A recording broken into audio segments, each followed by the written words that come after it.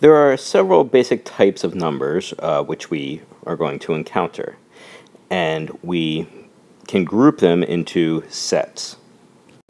The diagram you see here of the real number system, which incidentally is from this website, Homework Help Secrets, which if you follow this link, there's a good explanation of the definitions of all of these. I'm just going to talk you through some of the, the basic concepts which are illustrated here. This chart is a very common visual which shows us the different sets of numbers and what they include. If we start from the inside of the diagram, in particular with the natural numbers, that's kind of the more funda the most fundamental set of numbers.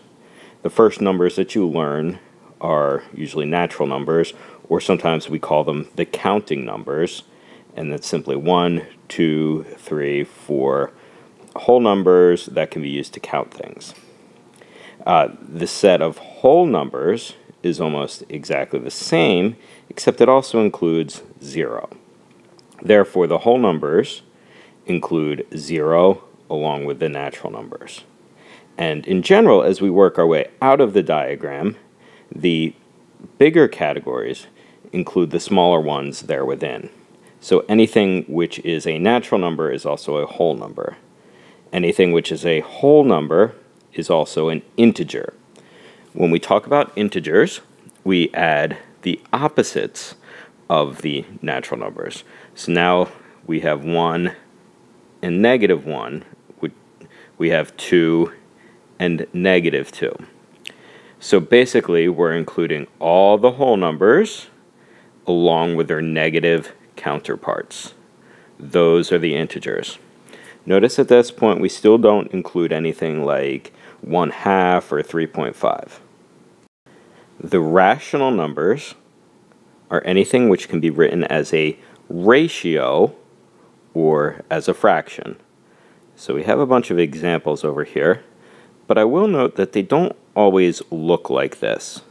So I'm going to add to this diagram a few examples, which are things which can be written in this form as a ratio of integers, but are perhaps not initially written that way.